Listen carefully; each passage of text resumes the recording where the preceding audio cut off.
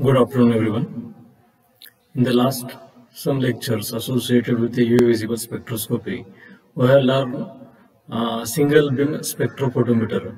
Now, in this lecture, we will going to learn double beam instrument or double beam spectrophotometer. Now, here is some theories associated with the double beam instrument. Now, here in the double beam instrument, monochromator is used. With the help of this monochromator, the light source is divided into two parts.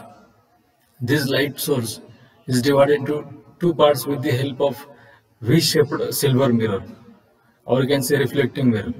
And again this mirror is passed, uh, this, these two uh, radiations of, of same wavelength is passed through the sample cell and reference cell where sample cell and reference cell uh, there is a uh, a transmitted beam of light is uh, recorded from the sample cell and reference cell.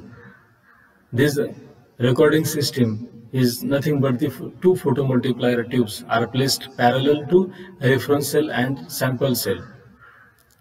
The transmitted light is then fed to the amplifier system and finally readout or display system. So this is the basic principle of the double beam instrument. Now here is theories associated with the double beam instrument is given. Modern spectrophotometers have double beam design which is given below. The double beam spectrometer consists of same some basic same basic elements that of the single beam elements.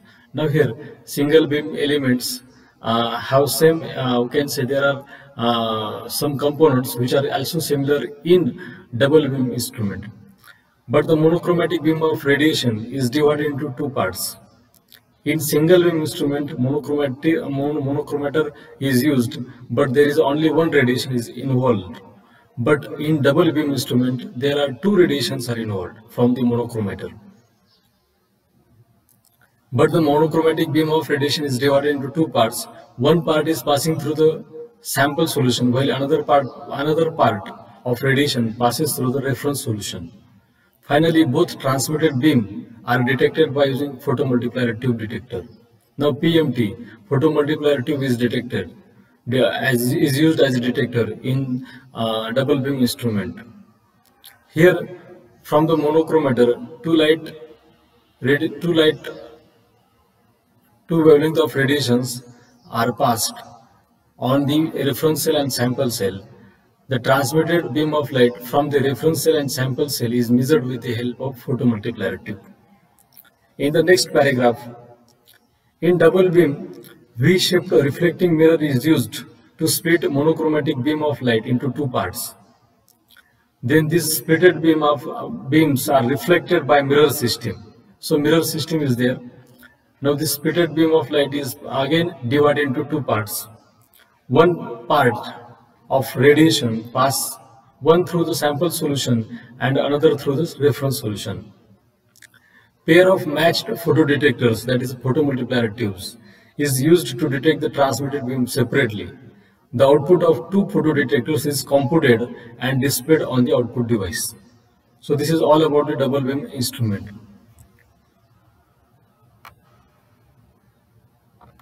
Here is a typical block diagram of double beam spectrophotometer is given. Here light source is used. The light source is uh, gives the uh, radiations. Now slit is used to obtain, obtain the narrow and parallel beam of light. Now the monochromator is used to identify the radiation of particular or identical wavelength so monochromatic light gives the identical wavelength of radiation. Now these radiations are again passing through the another slit and finally on the V-shaped mirror. This is a V-shaped mirror. Now from this mirror, V-shaped mirror which acts as a reflecting mirror, the two radiations, the two parts, again two parts of radiations are divided further and again they are uh, reflected with the with the help of two mirrors. This is first mirror and this is the second mirror. The first mirror and the second mirror again converts that uh, reflects the radiation towards the sample cell and reference cell. Now this sample cell and reference cell is placed in the path of light reflecting from the mirrors. Now here the sample is placed, sample solution is placed, where solution is placed in the cell or cuvette. Now the solution absorbs some of the radiation and the remainder is again uh, given out to the detector. Now the remainder is nothing but the transmitted light. This transmitted light is detected by the photomultiplier tube which acts as a detector kept, uh, uh, kept in front of the sample cell and reference cell. Now here amplification system is there and finally readout device is there. The output of two photodetectors is computed and displayed on the output devices. Now here the most important thing is that uh, the measurement uh, we can say so sample spectrum and reference spectrum is obtained.